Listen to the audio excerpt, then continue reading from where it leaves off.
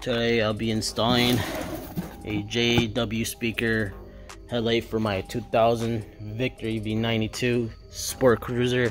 This is what I have now. It's just, just ugly as hell. Uh, I'm gonna show you how ugly it is outside. Alright, that's how she looks. Let me turn it off.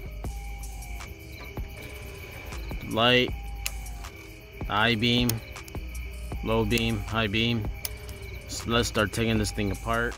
On these victories, there's a Phillips, then there's a screw, uh, nut in the back. You just take that off.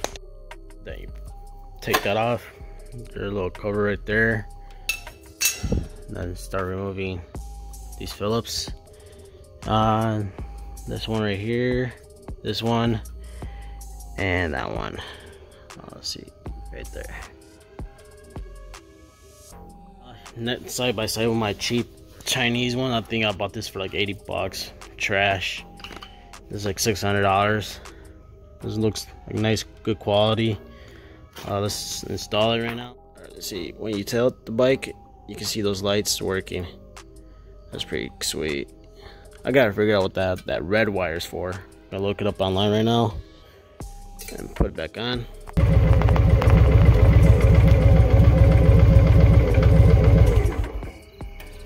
Alright, that's how with the JW speaker.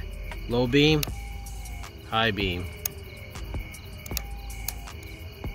Low beam, high beam. So you can see the difference.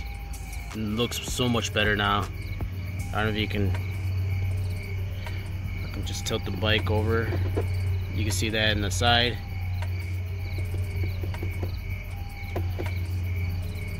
That's a pretty cool feature. I'm gonna ride this. Uh, first, I'm gonna just adjust it and see how she is. I'll show you guys in a second.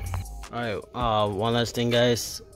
Uh, I had trimmed the factory bracket that holds the light, so I actually cut all this out from for the JW speaker, and it fits pretty well. It's not great, the best fit, but it works. So i'm be rocking like that. Uh, hopefully uh, you enjoy the video. I'm gonna do uh, i'm just gonna put a little driving video with it, uh, it you can see the side ones actually do work when you lean. Uh, any more questions just let me know. The part number is the 8790 so here's my victory. Have a nice day night weekend. Uh, ride safe and stay dirty